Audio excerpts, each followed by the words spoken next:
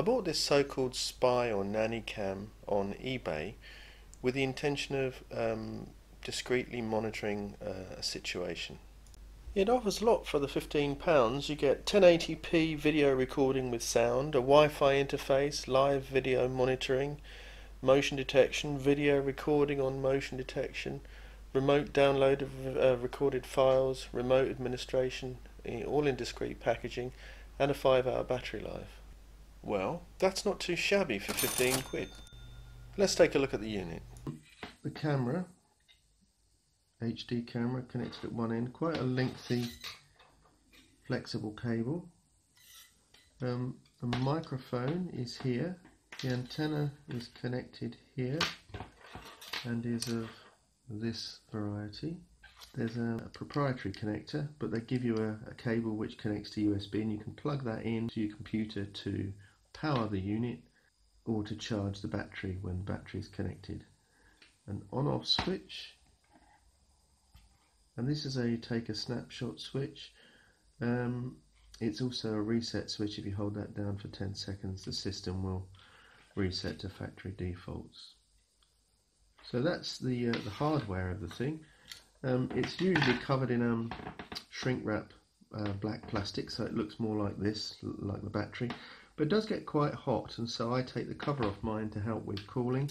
And it comes with a sticker which is unique to the device and you are supposed to be able to use that sticker to um, set the thing up but that's where the problems arise um, which I'll mention more about shortly. So I'm going to run it from the bench power supply and it takes about 300 milliamps so it's about a watt and this thing gets hot very hot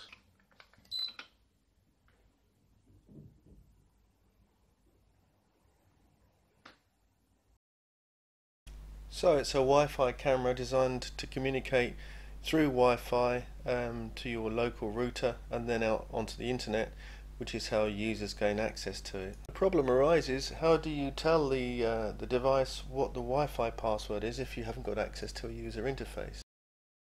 Well, as is commonly the case, this device from the factory configuration presents um, a Wi-Fi hotspot on that IP address and if you point a web browser at that IP address on that local hotspot Wi-Fi network you'll see a web interface.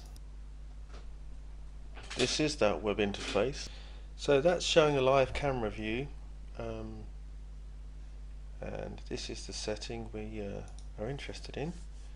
Um, here's where you can do a whole bunch of things but the thing you want to do in this case is uh, configure the Wi-Fi so you pick the Wi-Fi channel you want and then connect to it. It will ask for the password, you provide it. And when you reboot the machine, um, it won't present this hotspot anymore. Instead it will log on to your local Wi-Fi network and present a user interface there at an IP address that's determined by how your network's set up. You can also use your smartphone to uh, see what the camera's seeing. I use an application called iMiniCam but there were problems adding new um, new cameras. Uh, for example, there's a new camera there, so let me just click add it. No, user ID is invalid. Oh dear. Well, let me try something else. Let me go to manual add it. You can type all that stuff in. It still doesn't work. You can type search LAN, it finds it, and you're back in the same box you were before that you can't get out of. This is a nightmare. Scan that helpful code I showed you earlier. Waste of time. Read the manual? no, just connect to the Wi-Fi network which the device has created. That's what mine's called. And then in my case I open the app called iMiniCam. Then click the plus sign to add a new camera. Then click set up camera Wi-Fi connection and connect. Select the Wi-Fi that you need and then when you go back to the camera uh, it's now asking for the Wi-Fi password for the network which it thinks is yours which is the strongest signal one. You can change it if it's wrong.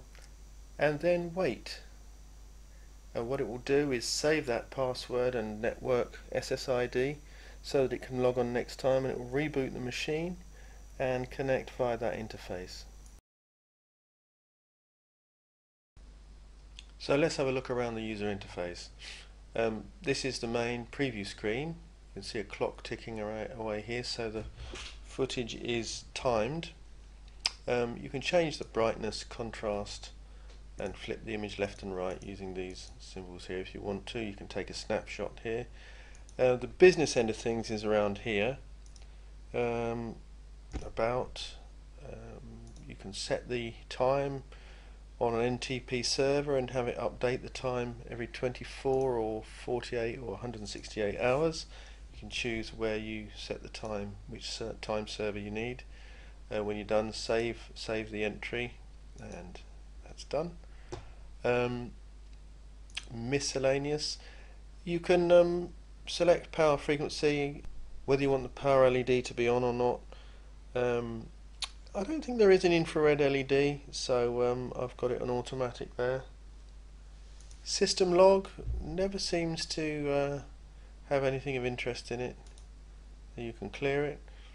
You can select the language, but it's selected automatically. System users, there are various different users you can have with different passwords. And they can be uh, of status guest, operator or admin. And those capabilities are defined here so various um, statuses can do different things. Um, and you can have one, two, three, six users. Um, you can update the, the firmware. Network, um, this is where you can do your IP configuration. You don't have to use DHCP. You can hardwire the, the address you want it to have. Um, you can give your Wi-Fi passwords uh, here. AP mode setting. You can actually change the name of the access point and decide whether it's open or encrypted and there are two encryption schemes there. Um, point-to-point -point settings. You just change the password uh, on the point-to-point -point, um, interface there. Alarm settings. Um, in here you can disable the alarm or enable the alarm. You can set the sensitivity of the alarm. These are motion detection settings. I've found three is about right. And then you can say what it should do, uh, have an on-screen display, a warning tone, or a, record video. Um, I've set all three. Uh, the top two don't do anything on a PC, but on a phone they um, they send a notification, um, and it records 60 seconds of video every time the alarm is triggered. If you want that motion detection to be set for certain times a day, then you can do that in here. I have it set all the time. Um, and then recording, you can set, actually I don't know what these do. I've never set them and um, it records just fine to the SD card. I guess it would give you um, uh, a subsection in the SD card. Browse doesn't do anything there. Um, and then the SD recordings themselves, record settings. This is how full the SD card is. You can format it here. Um, recording when there's an alarm. No recording ever or recording to the schedule. So you can record unconditionally at the schedule or only when there's an alarm or you can not record at all. You can set the video recording quality um, time of recording each file 1 to 60 minutes and loop recording and sound recording looping is um, when you run out of space uh, start deleting stuff from the oldest. Um, and then there's a multi-camera setup here which I haven't really used. So a wealth of features as they say. Well here's some footage shot from my office window. Um, it's a windy day so the trees are constantly moving um, which gives us an opportunity to understand the frame rate. Actually the cars do that as well they say 25 to 30 frames a second, it's nothing of the kind, um, but it's entirely adequate to do what I want to do. Um, and the quality is reasonable. So that's it, £15 and all those features. I'm a happy chappy, I've got three of these. Um, anyway, I hope you found that interesting, maybe useful. Um, I'm always happy to hear your comments, feedback, um, and answer your questions. Um, hope you enjoyed it. Thanks for watching.